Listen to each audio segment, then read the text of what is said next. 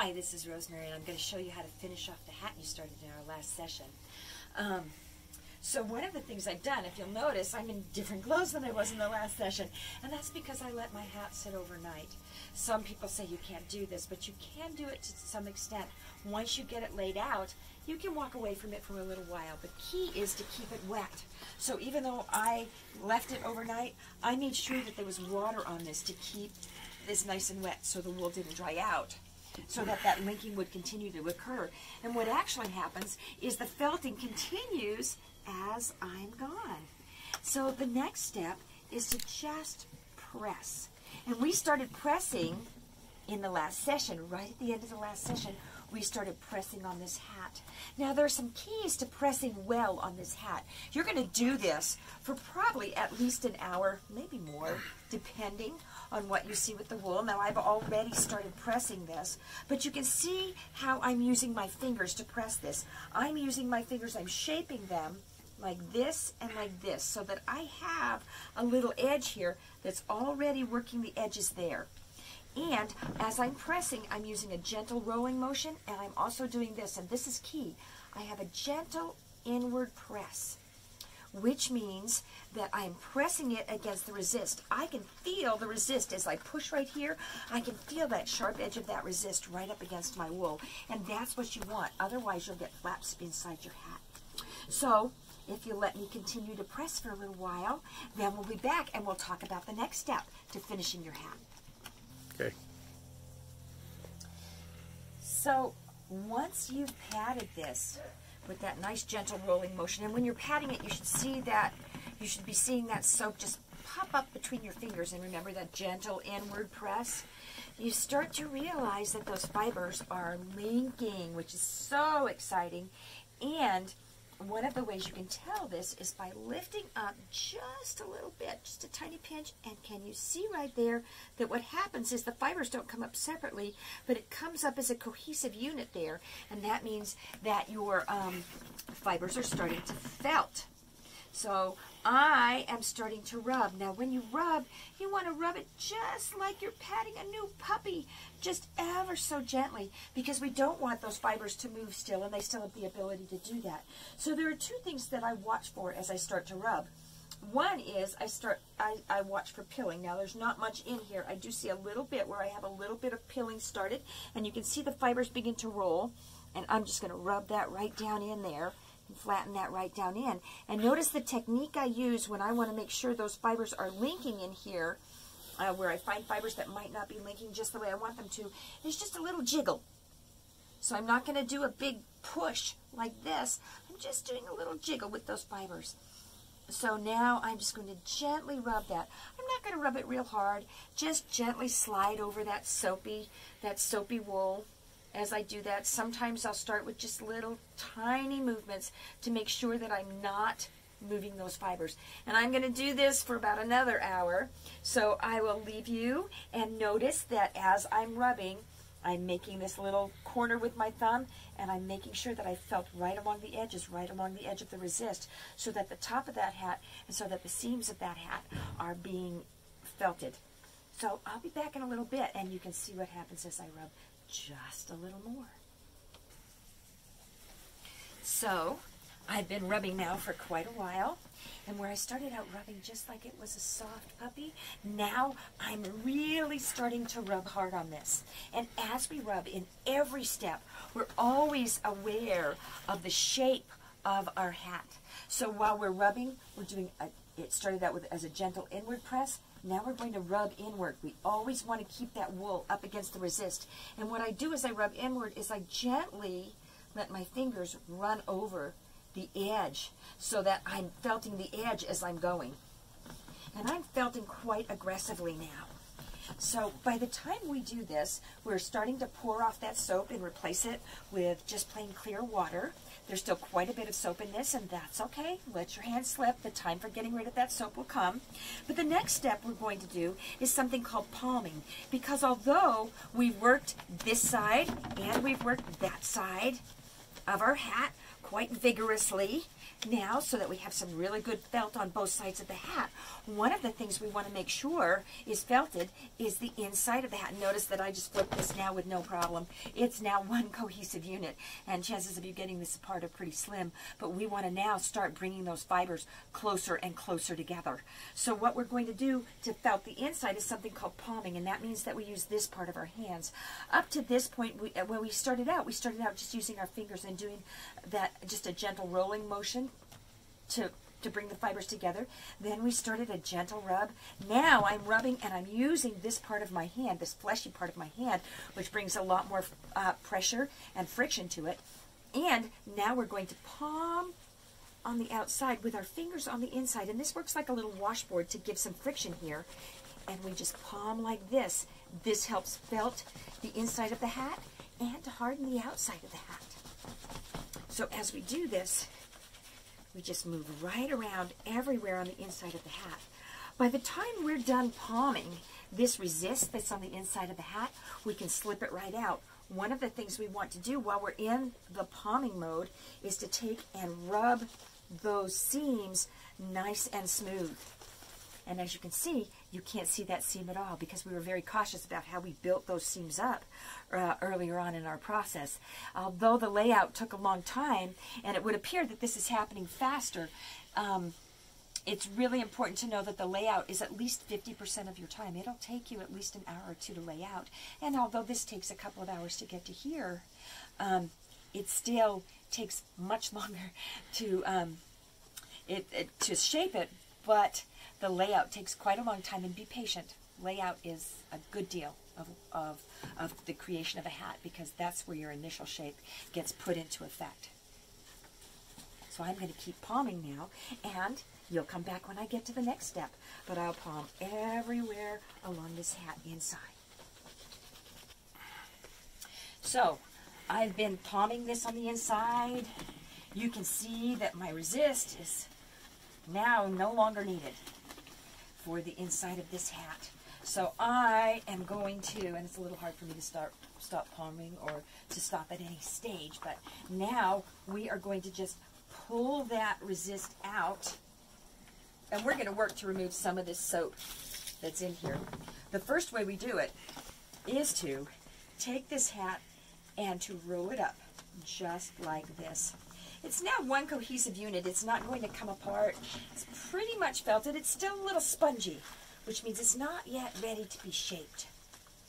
So, but I have just taken this, and if you'll notice, already my hat is smaller than my resist. You always want to make sure that your resist is bigger than your hat. By the way, it's a great way to wash off the porch floor um, with that soap. But then what I do to help harden that wool is I use the wool itself as friction and I rub that against itself.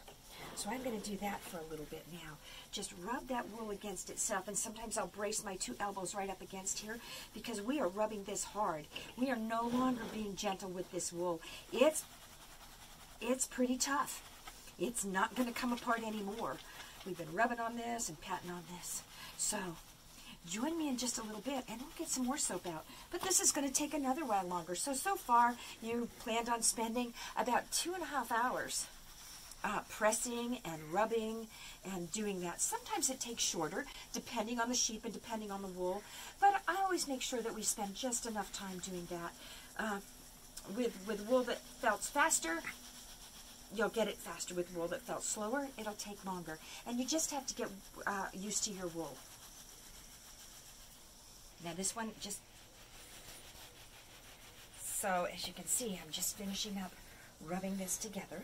And I want to get a little more soap out of it because now the more soap I get out of this, the closer these fibers are going to get together. But, as you can see, we've got a hat. It's just about ready for shaping, but once again, I want more soap out of it.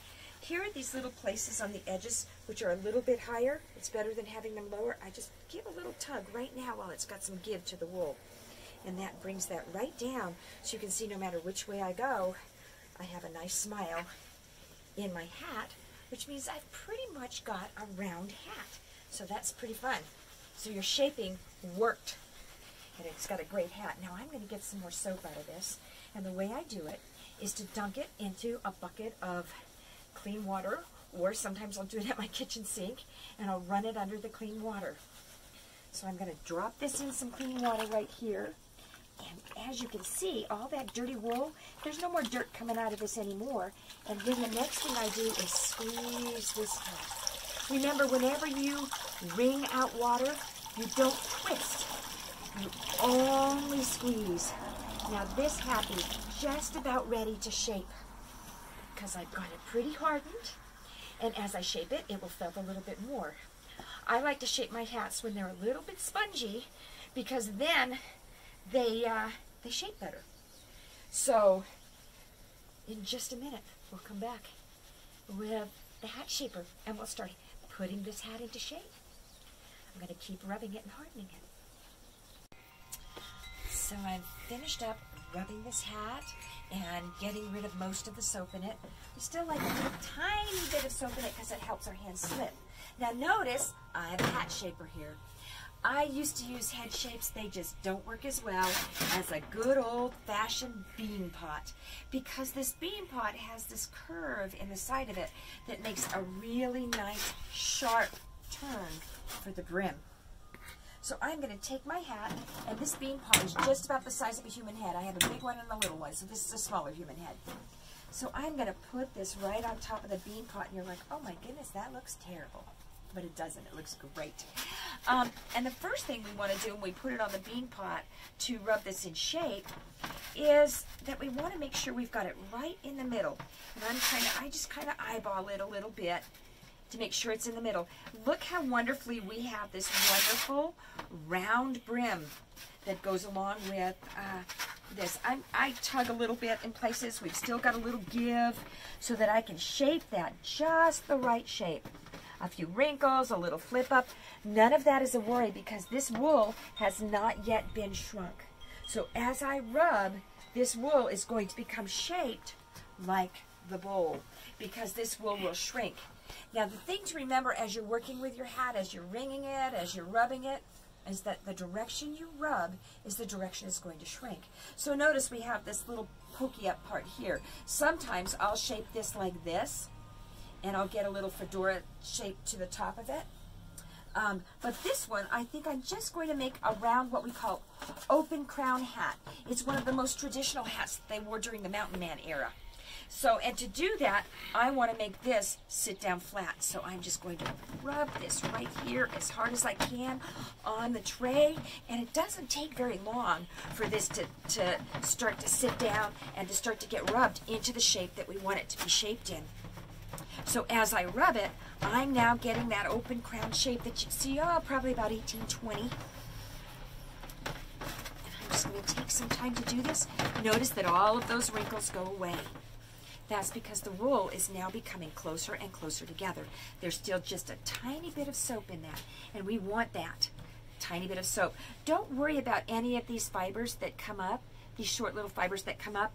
You now have enough fiber in this and enough linkage in this that those are just hairs that you just as soon get rid of anyway. Guard hairs and fuzzy hairs. There, you're not hurting your hat at all. At this point in time, you almost can't hurt your hat unless you over shrink it. And even then, you can stretch it a little bit. So as you can see, while I've been talking to you, I already have this shaped the way I want it to be shaped. And then I'm going to start rubbing on this brim. And the more I rub, the more it shrinks. I'll start doing some things on this brim to shape it like this. And I'm just going to rub for another long time to get this hat into the shape I want and make it shape in that bowl. I'm going to go right in there in that crease and really work to get this bowl be, being this, not this bowl, this hat being the shape that I want. So I'll be with you in just a minute after I've rubbed for a while. As you're working with your hat, you may find that there's a part of your hat that's not shrinking up just the way you want it to. So that's what the washboard is for. This washboard has this rough edge that adds quite a bit more friction to it that really shrinks it up.